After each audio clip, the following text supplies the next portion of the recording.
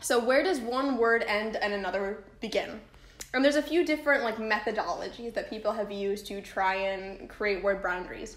Um, one is semantic boundaries. So there's this idea called minimal free forms, um, and it was a concept that was introduced by this dude Leonard Leonard Bloomfield in 1926. And basically, this concept, minimal free form, says that a word is the smallest meaningful unit of speech that can stand by itself.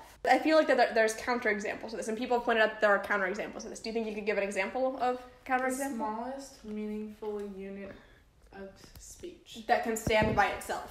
that can stand by itself. Well, Because, um, like the stand by itself thing. That's that's what really Might can be throw like you.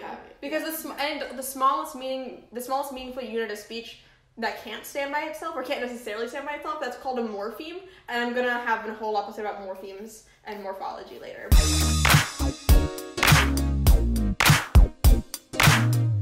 But um so when I when I said unbreakable earlier, unbreak and able, those are all morphemes that are combined to form the word unbreakable. Got it. Yeah. Um, but not all morphemes can stand on their own, which is where this minimal free form definition comes in.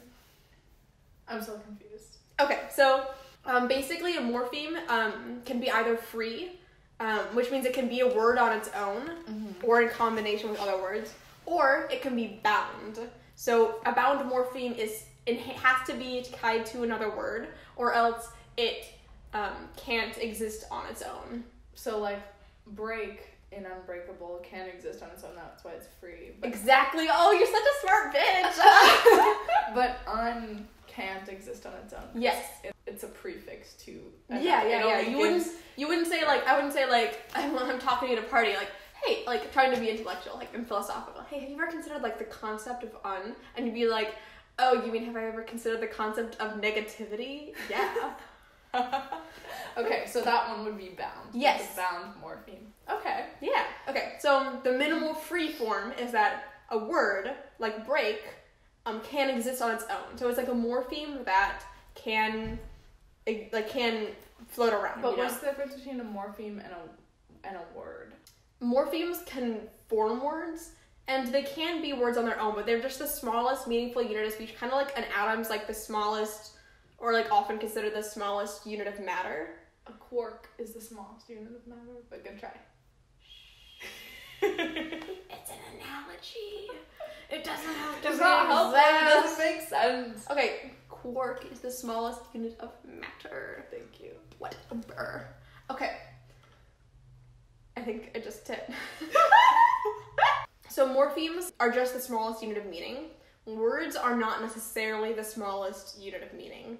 Which is weird because like when we're growing up we always think of a word as like that's like the basic unit of language but once you get into linguistics you realize that words can be divided further kind of like when you're growing up you think an atom is the basic unit of matter and then once you learn more about physics you can go a bit deeper than that right Yes. Yes. analogies A word can be a morpheme. Wait, hold on. A morpheme can be a word, but a word can't always be a morpheme. Not always, yes. And a morpheme can't always be a word. Okay, so that was stupid to say. Continue. No, I no, I love that you're trying to think about this because most people don't think about this at all. They're like, oh, linguistics, what is this bullshit? I don't give a fuck.